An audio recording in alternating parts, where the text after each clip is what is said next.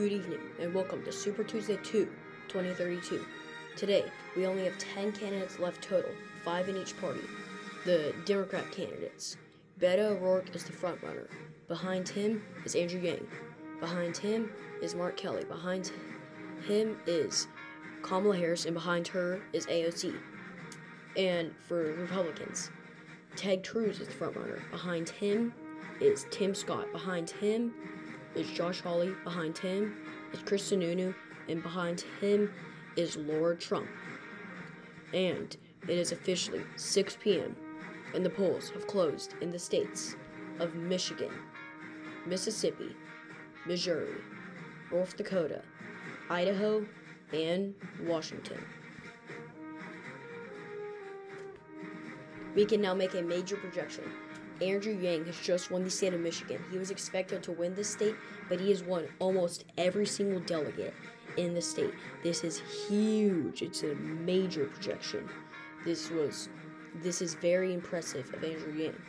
We can also project that he's won the state of Mississippi, which is very surprising because Beto O'Rourke was expected to win the state, and um, this is just really surprising that he won the state of Mississippi because Beto O'Rourke was expected to win this because Beto O'Rourke was from the South. And now, Beto O'Rourke has won the state of Missouri.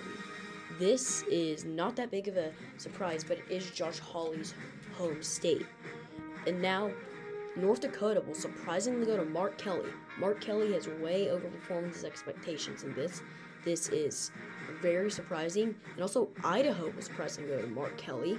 Um, this is also really surprising. And Kamala Harris has won the state of Washington. There's no surprise here because she is from the West Coast. Now for the Republicans.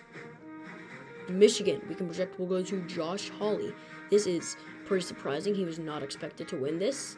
Um, his um, President Ron DeSantis did win this in 2028, um, so I guess it's not that surprising.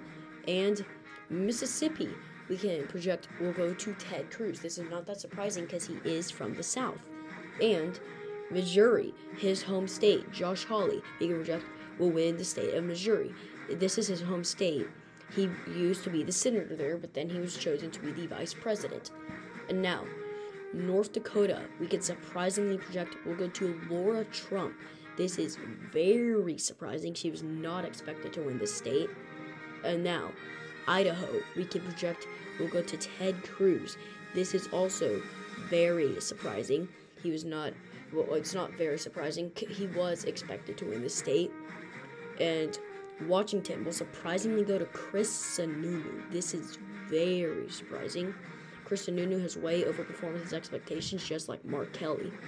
And now, we do have major candidates that have dropped out. Former Vice President under Joe Biden, Kamala Harris, has dropped out of the race. Senator of New York, Alexandria Ocasio Cortez, has dropped out of the race. Senator of New Hampshire, Chris Sununu, has dropped out of the race, and Senator of North Carolina, Laura Trump, has dropped out of the race. These are all major candidates, and now there are only three candidates left in each party. Now, Beto O'Rourke is leading by a very wide margin. He is way overperforming his expectations. He was not expected to do this good. He has won so many states, and if this would actually be interesting, because look at the Republicans, Ted Cruz is also leading by a very wide margin, and this would be interesting because this has been the Senate matchup for the past couple of midterms, so this is very interesting. And now, I do have a Google form, the Guam and Northern Mariana Caucuses. Um, vote for whoever you want. As you see, I vote for Mark Kelly in both of these. Um, thank you for 103 subscribers. Um, I just really surprised that I got 103 subscribers. This is the end of the video, and bye.